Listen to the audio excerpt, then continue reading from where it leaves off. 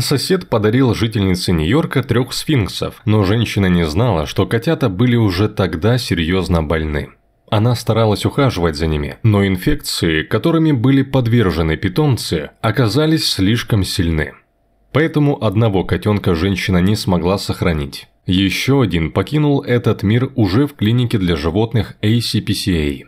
Остался только он, Пикколо. Этот сфинкс оказался настоящим бойцом, и ветеринар ACPCA Даниэль Дельфина стремился помочь кошке во что бы то ни стало. Несмотря на то, что выраженность инфицирования удалось победить, сфинкс страдал от гипогликемии, пневмонии и язвы роговицы. Так, Даниэль забрал Пикла к себе домой, чтобы сфинкс был в лучших условиях, и ветеринар мог его наблюдать постоянно. Однако рабочий день не позволял Даниэлю быть с Пиклом регулярно. Кота нужно было держать в тепле, ведь больной не мог постоянно находиться в одежде или в покрывале. Вовремя вмешалась домашняя собака породы питбули, что живет у ветеринара дома.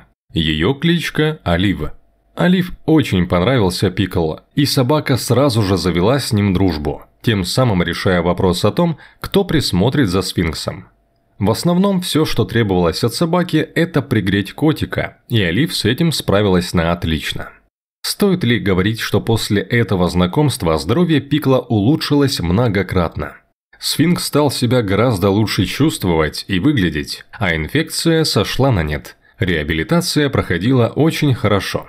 В итоге ветеринар и приютил котенка. Даниэль и сам ожидал, что так оно и случится. Теперь Пикл живет припеваючи, проводя дни с собакой Олив, своей спасительницей, и ждет другого спасителя каждый день.